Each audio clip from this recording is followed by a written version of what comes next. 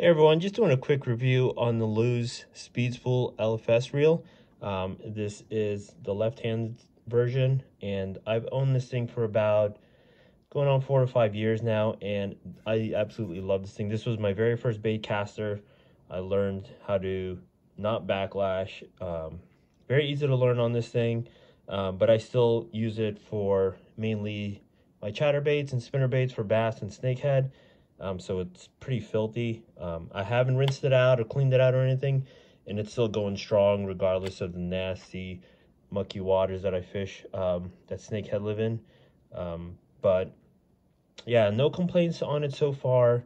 Um, again, super high quality for the price of this reel. So if you're looking to start out with a bait caster, um, you know, without having to spend a few hundred bucks on one, I highly recommend the Lew's Speed Spool LFS.